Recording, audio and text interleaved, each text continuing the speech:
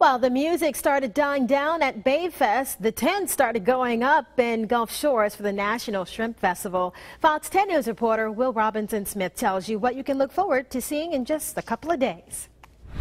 Red flags may be flying over the beach today, but the color on many people's minds here is pink. That's the color of the new official vendor's tent at this year's National Shrimp Festival.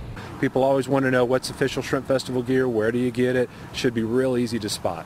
Chairman Matt Mogan says there are also several other new elements at this year's festival. We've added an outdoor world, which is outdoor you know, uh, fishing and hunting uh, items for sale that we're going to have that we've never had before. We're having a Shrimp Festival Idol contest, which is going to have Shauna P. from The Voice.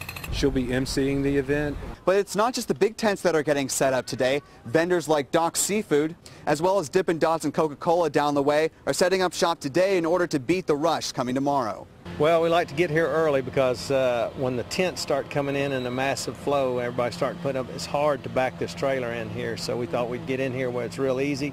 Mogan says beyond the multitude of food vendors that will line the parking lot in just a few days, the festival is also a prime time for some early holiday shopping. We've been told through a lot of the, the market research that we've done, Christmas shopping actually begins at the Shrimp Festival for people that come every year.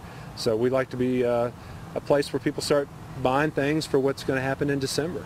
And with a dry forecast for the weekend, Mogan says it should be all sunshine for another weekend of festival fun. In Gulf Shores, Will Robinson Smith, Fox 10 News. All sunshine, that sounds good. And for more information about specific events and band times, we have a link to the Shrimp Festival page on our website, fox10tv.com. And we're also giving away a four-day, three-night trip to the festival. We'll let you know how you can enter for that later in the hour.